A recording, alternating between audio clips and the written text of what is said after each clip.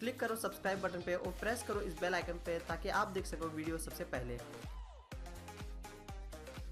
Hello guys welcome to my YouTube channel जैसे कि मैंने लास्ट वीडियो में आपको एक नॉर्मल सी एक्सरसाइज दी थी और इसे ट्राई करने के लिए बोला था तो आपने ट्राई किया रहेगा। तो जिसका भी एक्सरसाइज सॉल्व हो गया तो बहुत ही अच्छी बात है। जिसका भी प्रोग्राम एग्जीक्यूट हो गया तो बहुत अच्छी बात है। जिसका नहीं हुआ, जिसने ट्राई किया, ये वीडियो देख के आपका प्रॉब्लम सॉल्व हो जाएगा। तो इस तो इस वीडियो में मैं आपको जैसे कि लास्ट वीडियो में मैंने आपको कोई लिस्ट आपको लेना था, वो लिस्ट में जितने भी एलिमेंट है उसको आपको रिवर्स ऑर्डर में प्रिंट कराना था आउटपुट में। वो भी एक फ़ंक्शन क्रिएट करके। तो कैसे करना था, उसका मैं सोल्यूशन बताने वाला तो बहुत ही सिंपल है। सबसे पहले हम एक फ़ंक्शन क्रिएट कर लेंगे। तो डिफाइन वो फ़ंक्शन का नाम रख देंगे रिवर्स ऑर्डर तो रिवर्स ऑर्डर नाम का मैं एक फ़ंक्शन क्रिएट कर लेता हूँ। उसका मैंने नाम रख दिया रिवर्स ऑर्डर बाद में फिर इसके अंदर मैं जो कि एक लिस्ट जाएगा तो एक पैरामीटर पास कर देता हूँ। तो पैरामीटर ए करके मैं पास कर देता हूँ। तो ए हमने रख दिया है पैरामीटर का नाम।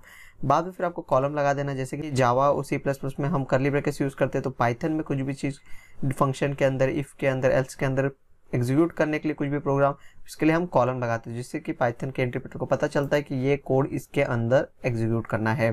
तो देख सकते हो, जैसे मैंने मैं एंटर मारा, थोड़ा सा स्पेस आ गया है। तो इसके बाद फिर हम एक खाली लिस्ट बना देंगे, जिसके अंदर हमारा रिवर्स ऑर्डर होएगा, वो हमारा प्रिंट होएगा। तो इसके लिए मैं खाली लिस्ट का नाम रख देता हूँ, जैसे कि एम लिस्ट नहीं रखता, मैं रखता हूँ वैल्यू करके मैं लिस्ट का नाम रख देता हूँ, वैल्यू।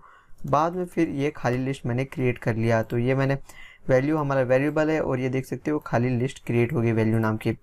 तो ये हो गया। बाद में फिर हमें लूप लगाना है। फॉर आई इन ये जो एक लिस्ट रहेगी, जब मैं प्रोग्राम एग्जीक्यूट करूँगा तो इधर पैरामीटर अपना लिस्ट का पास करूँगा लिस्ट का नाम पास करूँगा। उसके अंदर जितने भी वैल्यू रहेगी, जैसे महेंद्र संतोष, मन्नू तो एक एक आई के अंदर पास होते जाएँगे। बाद में फिर आई के अंदर पास होने के बाद इसे मैं मॉडिफिकेशन मतलब इसे मैं रिवर्स करूँगा। तो इसके बाद फिर आप देख सकते हो, इधर आपको लगा देना है कॉलम कॉलम लगाने के बाद अब हमारा जो भी रिवर्स होगा, इधर होगा। तो इधर हमें अपने लिस्ट में अपेंड भी करते जाना आप देख सकते हो वैल्यू नाम की मैंने लिस्ट क्रिएट की इसके अंदर अपेंड करते जाना है। तो इधर मैं मेरे लिस्ट का नाम लिख देता हूँ। वैल्यू बाद में डॉट अपेंड ये अपेंड लिखने के बाद अब मुझे है ना जो आई के अंदर सबसे पहला महेंद्र आया, इसे रिवर्स करना तो बहुत ही सिंपल है, जैसे इंडेक्सिंग में और मैंने बहुत सारे स्लाइसिंग में बताया हुआ रिवर्स कैसे करना है। तो आप मेरे सभी वीडियो को फॉलो कर रहे हो तो आपको पता रहेगा, नहीं पता है तो आप डिस्क्रिप्शन में, नहीं तो मेरे पाइथन के प्ले में जाइए उसमें डिस्क्रिप्शन में लिंक मिल जाएगी, पूरी बेसिक से लेकर एडवांस लिखा रहेगा। इसमें मेरे रिवर्स ऑर्डर्स इंडेक्सिंग मेथड ऐसे करके टाइटल रहेगा, वो आप वीडियो देख लीजिए। इसके बाद फिर आप देख सकते हो मैंने आई लगा दिया। आई लगाने के बाद इंडेक्सिंग के लिए हम स्क्वायर ब्रैकेट यूज़ करते तो स्क्वायर ब्रैकेट डाल दिया, बाद में फिर आपको लगा देना डबल कॉलम और माइनस वन।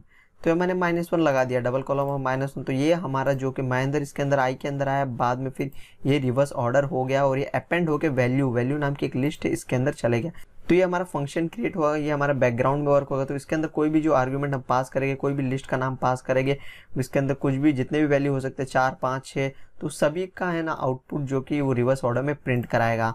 अब मैं इसे एंटर करता हूँ, बाद में फिर मैं रिटर्न करा देता हूँ हमारा लिस्ट को, जो कि हमारी लिस्ट का नाम है वैल्यू ये हमारा फ़ंक्शन कम्प्लीटली क्रिएट हो गया है।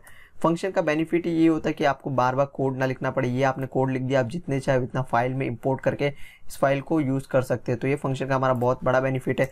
अब इसके बाद जैसे कि मैं एक नेम नाम की लिस्ट क्रिएट करता हूँ और इसके अंदर कुछ मैं नेम असाइन करा देता हूँ। जैसे मैंने ऊपर के बताया वो महेंद्र, बाद में फिर मैंने बताया है संतोष और बाद में फिर मैंने बताया मन्नू।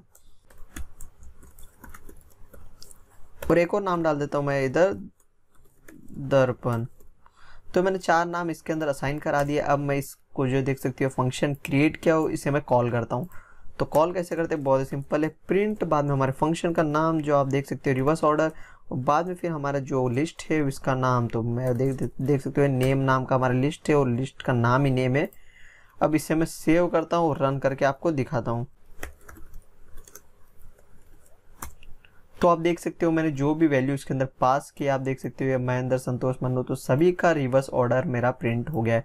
तो बहुत सिंपल था, इस तरह हमारी एक्सरसाइज का सोल्यूशन था तो जिसने ट्राई किया, जिसका हो गया, बहुत ही अच्छा। और जिसका नहीं हुआ तो इसे वीडियो को देख के उसको ट्राई करके आपका सॉल्व हो जाएगा एग्जीक्यूट हो जाएगा प्रोग्राम तो प्रैक्टिस ही टोटली डिपेंड करता है। आप जितना ज़्यादा प्रैक्टिस करोगे, उतना डे बाय डे बेहतर होते जाओगे प्रोग्रामिंग के अंदर। तो thank you so much watching this video ये वीडियो में बस इतना ही। और भी चीज़ देखेंगे हम लिस्ट के बारे में। तो नेक्स्ट वीडियो में नेक्स्ट वीडियो की लिंक आपको डिस्क्रिप्शन में मिल जाएगी। बेसिक से लेकर एडवांस पता की प्ले लिस्ट लिंक भी आपको डिस्क्रिप्शन में मिल जाएगी।